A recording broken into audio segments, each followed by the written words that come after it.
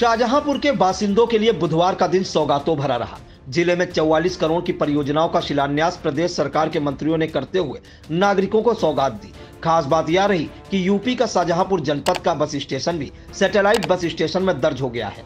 प्रदेश सरकार के परिवहन मंत्री दयाशंकर सिंह ने वित्त मंत्री सुरेश कुमार खन्ना, पीडब्ल्यूडी मंत्री जितिन प्रसाद और सहकारिता मंत्री जेपीएस राठौर के साथ चौवालीस करोड़ की परियोजनाओं का शिलान्यास किया। इस दौरान परिवहन मंत्री दयाशंकर सिंह ने कहा कि उत्तर प्रदेश में रोडवेज़ के लिए जल्द ही पंद्रह हज़ार बसें खरीदी जाएँगी। अलग अलग जिलों से अयोध्या के लिए 25 डबल डेकर बसें चलाई जाएँगी। इससे पहले 12 करोड़ 14 लाख से शहर को टू लेन से जोड़ने वाले ओवरब्रिज का उद्घाटन किया गया। हर ज़िले में ड्राइविंग ट्रेनिंग इंस्टीट्यूट खोले जाने की जानकारी देते हुए वह क्या बोले? आइए उसे सुन लेते हैं। देखिए, जो लर्निंग लाइसेंस लर्निंग लाइसेंस शत प्रतिशत हम ऑनलाइन कर दिए हैं। एक साल पहले मैंने कर दिया था शत प्रतिशत ऑनलाइन। अब घर बैठ करके आप जो है लर्निंग लाइसेंस प्राप्त कर सकते हैं, कहीं जाने की ज़रूरत नहीं परमानेंट लाइसेंस के लिए हमारे यहाँ टेस्ट के लिए आना पड़ता है। हर जनपद में हम डीटीआई खोल रहे हैं, ड्राइविंग ट्रेनिंग इंस्टीट्यूट, और एक करोड़ रुपया हम सब्सिडी दे रहे हैं। कोई भी प्राइवेट आदमी यदि खोलना चाहे तो हमारे शर्तों के अनुसार उसमें सेमुलेटर और गाड़ियाँ रखनी पड़ेगी ट्रेनिंग के लिए और खोल सकता है, उसका तीन करोड़ रुपया उसकी लागत लगेगी, एक करोड़ रुपया हम सब्सिडी देंगे। और हम जो है सत्रह जिलों में, सत्रह अपने कमिश्नरियों में, हम ऑटोमेटिक ड्राइविंग ट्रेनिंग इंस्टीट्यूट बना चुके हैं। पाँच उसमें से मारुति ने मुझसे लिया है सीएसआर फंड से उसमें ऑटोमेशन का कार्य कर रही है मारुति। तो उससे कोई व्यक्ति मैनुअल नहीं रहेगा।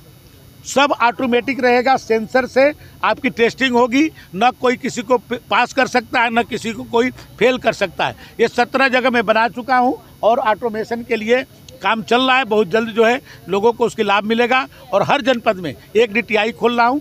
कोई भी व्यक्ति हो, एक से दो भी खोल सकता हूँ। कोई हो एक करोड़ रुपया अनुदान भी देंगे। तो कोई भी अब मैनुअल नहीं रहेगा, किसी तरह का कोई भ्रष्टाचार नहीं रहेगा। इस दौरान परिवहन मंत्री दयाशंकर सिंह ने कांग्रेस की भारत जोड़ो न्याय यात्रा और समाजवादी पार्टी के पीडीए पर भी जमकर निशाना साधा।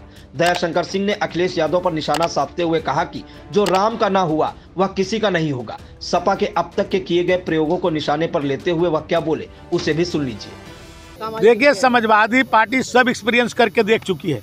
कांग्रेस से समझौता करके देख चुकी है बसपा से कर, समझौता करके देख चुकी है अपने घोर विरोधी बसपा से 2019 में समझौता करके वो लड़ी और मोदी जी के लहर को नहीं रोक पाई। मोदी जी की इस बार सुनामी बहेगी और 80 की 80 सीटें हम लोग जीतेंगे। पहले कहते थे कि मुझे निमंत्रण नहीं मिला। पहले फिर बोले कि निमंत्रण मिला है भगवान श्री राम बुलाएँगे तब जाएँगे। फिर बोल रहे हैं कि बाईस के बाद जाएँगे। उसी बीच में उनके महासचिव कह रहे हैं कि राम भक्तों पर गोली चलाए थे तो उचित था। तो वो वोट की राजनीति कर रहे हैं।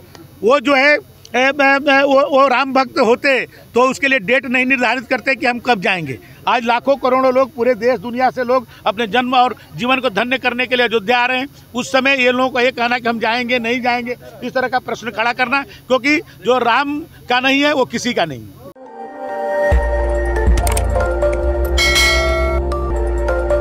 खबर आपकी नज़र हमारी। देखते रहिए आई इंडिया।